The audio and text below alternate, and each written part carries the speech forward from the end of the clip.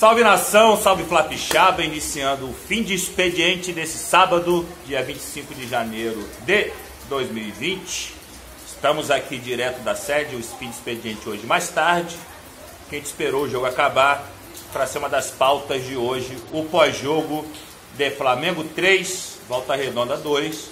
Além desse assunto, nós temos dúvidas sobre a venda do Flávio Mari e também o interesse do Flamengo na compra do Léo Pereira, zagueiro do Atlético Paranaense. Eu acho que é melhor começar com o pós-jogo, né? Que é mais. tá fresquinho na cabeça. O Flamengo acabou de vencer o Volta Redonda no Maracanã pela terceira rodada da Taça Guanabara. Flamengo, três gols de João Lucas. Me ajuda aí. Muniz. Rodrigo Muniz e o golaço, Golaço do Rio. do Bill, né? Mais uma vitória do nosso sub-23. Pra mim é sub-23, né? As pessoas falam sub-20 aí, mas acho que é sub-23. O que, que vocês acharam aí do, dessa vitória aí, Marcos? Como é que foi essa partida aí pra você? Gostei muito do time, time consistente, time que chegou, é, é, começou o jogo amassando. Eu, acho que tem muita coisa para ir para longe. entendeu? Tem, tem um bom trabalho. é, alguns testes entendeu? que tem que ser feito, agora é a hora. entendeu?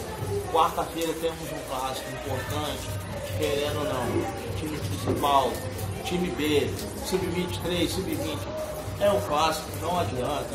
O Flamengo é o time a ser batido, eu venho falando isso aqui. Né? Atual campeão. Com a galera, é o time a ser batido. Gostei, gostei muito do time, principalmente da personalidade. Não é o time que está sendo agressivo, não é, não é o time que está sendo é, é, apático e está jogando para cima. Jogando com inteligência, né? E Apesar de ser jogadores novos aí, mas estão jogando com inteligência. E fizeram testes importantes hoje, né, Roberto? Foi o Muniz, foi o próprio João Lucas, que fez o gol, né, e o próprio Bill. Então, três jogadores que não fizeram parte do jogo passado Verdade. foram os, fizeram gol É, o hoje. né? treinador fazendo rodízio, né, dando movimentação a todos, né? É, jogadores que podem estar à disposição do, do Mister futuramente, né? E eu gostei muito, presidente, a gente tem uma personalidade de meio campo, né? Tanto é que a gente impôs o jogo. A Volta Redonda fez o primeiro, se acovardou, foi para trás. E nós dominamos o jogo. O do Volta Redonda foi numa vacilo de maturidade. A maioria, né? Dos Sim, gols. vai, Os dois gols, maturidade, podemos dizer assim. A zaga parou e o cara veio de trás, tentaram botar um impedimento que não houve, né? Mas eu acho que é, é perene, natural da idade do jogador. Mas o tempo eles vão crescendo e vão aprendendo mais. É, estão crescendo, né? Estão crescendo, estão evoluindo. Com certeza. Isso. Tem muito a colaborar o Flamengo aí futuramente. Isso aí. Outro assunto, gente, é, que a gente tem que falar muito aqui é sobre essa venda do nosso zagueiro Pablo Mari, que está indo para o Arsenal, só que nós não estamos tendo uma informação concreta realmente de como está sendo feita essa venda. Se é os 100%, se é uma parte do Pablo Mari que está tá sendo vendido, se ele está indo por empréstimo. Então está tendo um desencontro de informações. Max trouxe agora há pouco, né, Max, pela coluna do Flamengo, né? Pela coluna do Flamengo fala que o jogador está sendo vendido, não está sendo emprestado, não está sendo meia meia. Em torno de 8 mil libras. 8 milhões de libras, é. Isso, Em torno de 40 milhões de reais. isso. Sendo que o Pablo Maria é um cara que já foi cobiçado por vários clubes. Antes de ele chegar em julho de 2019 no Flamengo, é, aqui vendo pela Globo.com, né? Ele passou pelo Mallorca, pelo Girona, pelo Deportivo La Coruña e chegou a ser contratado pelo Manchester City. Então é um jogador é, é, Não é qualquer um, né? É conhecido, Ele é né? um jogador que, que tem um potencial. Agora, eu acho prematuro essa, venda dele, ou esse dele. Acho muito prematuro no Flamengo. É, não escondo, tá? Gosto dele, é um bom zagueiro, mas sempre achei ele um zagueiro lento. entendeu? E acredito muito que o Bruno, é, Bruno Henrique, Gustavo Henrique. Gustavo Henrique, desculpa. É, se chegar, não vai chegar para bancar, vai chegar para brigar de igual para igual com ele.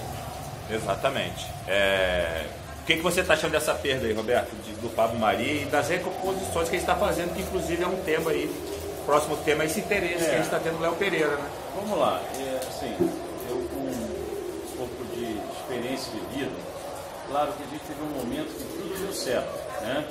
O Marinho veio muito bem, jogou muito bem, se impôs, né? ele deu uma, uma classe ali na zaga, realmente é uma perda é, bem considerável. Acho que é um cara que chegou no Flamengo, até um jogador clássico, igual o Odaí. E assim, eu já tive a oportunidade de bater umas peladinhas com o Odaí, com o Espírito Santo. É um cara clássico. É o estilo, né? É um cara retilíneo, cabeça levantada. Não é aquele cara, como o Mike falou, rápido, igual o, o, o, próprio o, Caio, né? o São Henrique, o Caio, o Hotel Túlia, né? Até o Léo que foi embora e tal. Ele não é rápido, mas ele é clássico. Ele sabe se antecipar, ele toma na classe, ele prevê a jogada. Isso é o que eu vejo do Maria. É uma perda considerável.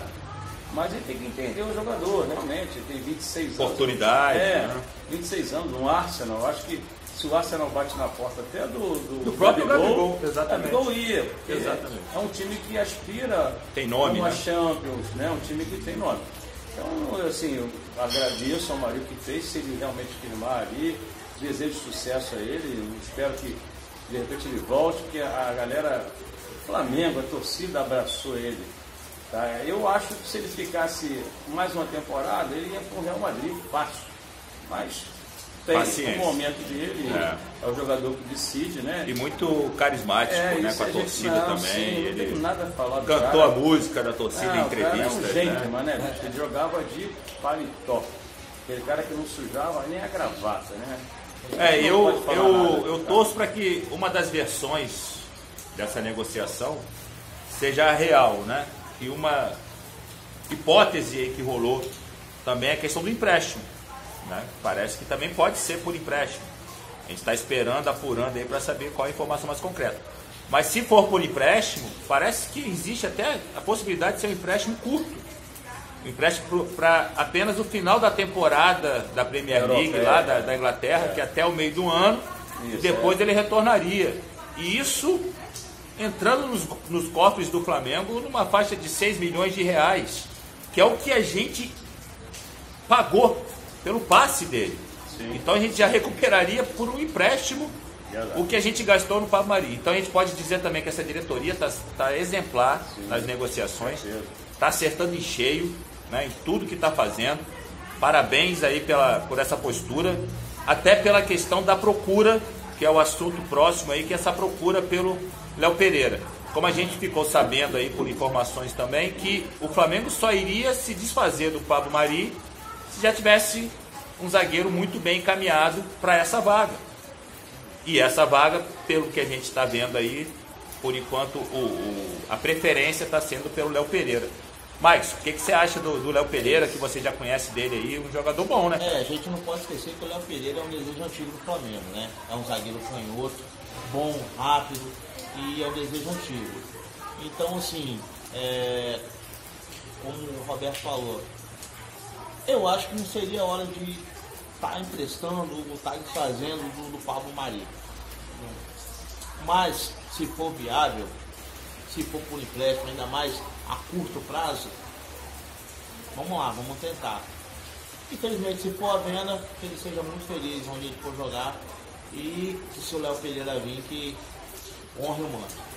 É, a estatura tem, né? É muito parecida.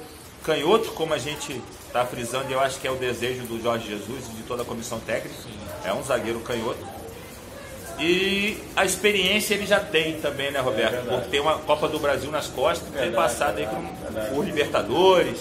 É um jogador, como o Maicon disse, que o Flamengo já procurou. Um detalhe, né, parece que agora se firma, né? Tem um detalhe, presidente, porque se o Flamengo já estava com a venda do. Olha só, o Maricelo já anunciou o Léo Pereira essa coisa corria alguma coisa que a gente não sabia por trás. É uma semana é. aí que é, poderia estar. O Léo tá- Pereira já está vendo sendo anunciado logo em seguida, né? Sim. E aquele detalhe, o Léo Pereira, por ser canhoto, ele vai ajudar muito ao nosso lateral esquerdo, que já está, né, o Luiz, ele já está mais migrando para o meio, né? Sim. Ele já não tem mais aquele potencial de marcação. Ele, ele é muito melhor do que ele marcação. Marcação. Um, um lateral, é, ele tem a obrigação primeiro de marcar, mas ele é um apoiador. A idade do Felipe é, Luiz interfere. Sim, muito craque, sabe tudo de bola, não tem como falar dele. Mas assim, acondicionamento físico, condicionamento físico, a posição, ali ele já, tipo assim, já está mais migrando para o meio, né? Então, assim, realmente vai ser um cara que vai dar essa cobertura, né? Apesar de que seja os cabeças de área que tem que cobrir o lateral, de um lado ou do outro, né? O volante, mas um lateral, um, um zagueiro canhoto vai ajudar muito. Mais um. É. Mais um é, ali. Exatamente. Para colaborar, né? O Caio, para mim, ele é ambidestro, é. é, ali no... é um coringa, né? É. O Liu Caio é um fenômeno. Né? Sem dúvida nenhuma. É, a questão também, que você estava falando do Léo Pereira, Hum. Eu particularmente preferiria um, um zagueiro que parece que não está sendo muito utilizado, que para mim é muito melhor que o Léo Pereira, até do próprio Pablo Mari, sinceramente, que é o Balbuena, É. que está praticamente encostado lá no West Ham, não está sendo utilizado lá. Vê o tamanho do valor. E é né? canhoto, é, isso aí a gente não é, sabe, é, né? é é? Mas É, Às vezes a em negociação questão é mais complicada. de né? qualidade Ele pegou seria nome, bem né? melhor. Ele deu um, Sem subiu dúvida o nenhuma. sarrafo dele um pouco, né? Isso aí. Segundo a ve- é, é, o site Coluna do Flamengo, a venda do Pablo Maria é bem viável para o Flamengo. Sim, Seria em torno de 8 milhões de libras, algo em torno de 43 milhões É, financeiramente, reais. claro. Financeiramente um de seria- euros. Uma boa ele. venda, uma ótima venda. Exatamente. Sim, sim. E a questão que as pessoas estão falando, ah, está muito, muito abaixo da multa rescisória. Ninguém vende jogador pela Não. multa rescisória. É apenas uma, A Renier, a Renier uma era, proteção que o clube tem ali.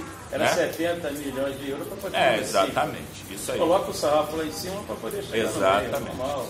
Isso aí. Galera, esse foi o nosso fim de expediente desse sábado. Estamos aqui embaixo de chuva, mas felizes com a vitória do Mengão. Espero que todos tenham gostado aí dessa vitória. Rumo à classificação para as semifinais da Taça Guanabara. Esperamos que todos aí também se inscrevam no canal, tá? Aciona o sininho aí, Vamos deixa aí. o like aí, o gostei. Temos uma, uma E claro, grande, né, comentários aí pra gente poder discutir o o que a gente conversou Vamos hoje aí. fortalecer o Isso canal aí, aí. galera. Vamos isso aí. Galera, porque sempre aqui será Flamengo no coração e veia. saudações rubro-negros. Fiquem com Deus. Valeu. Valeu.